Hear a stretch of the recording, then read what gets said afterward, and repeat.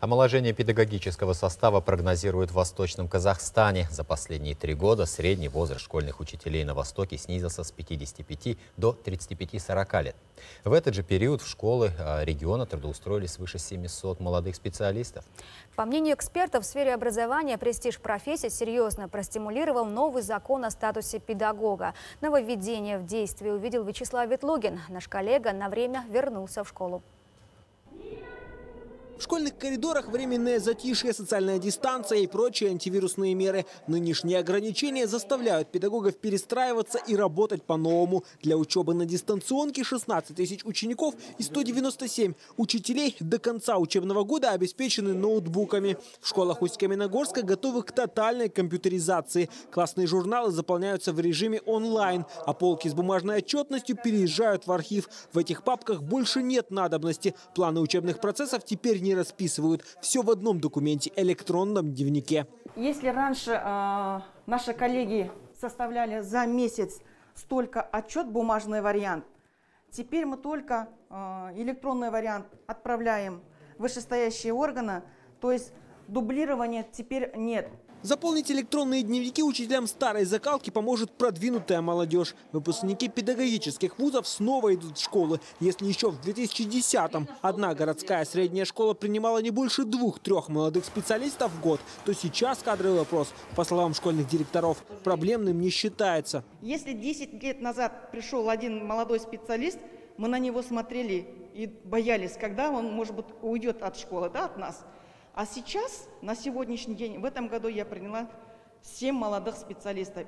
Устраивает молодых учителей и зарплата. Растет она ежегодно на 25%. А оплата за проверку тетради и классных дневников, кстати, выросла вдвое. So, let's start our lesson.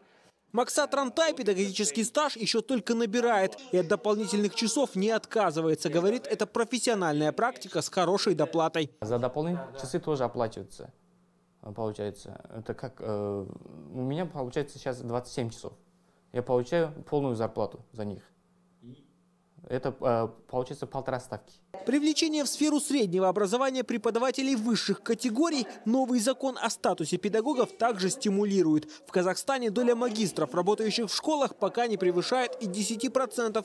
Но и эта статистика поправима, считает профессор, кандидат физико-математических наук Дасым Ерболатулы. В профессионализме выпускников педагогических вузов он не сомневается. Поясняет, уже на стадии ЕНТ меняются требования к желающим учиться на педагогов. Повышение порогового балла при поступлении в вузы. То есть э, для педагогических направлений подготовки э, сейчас составляет 70 баллов. Раньше было это 50 э, баллов. То есть только наиболее одаренные и талантливые выпускники школ поступают на образовательные программы педагогического направления.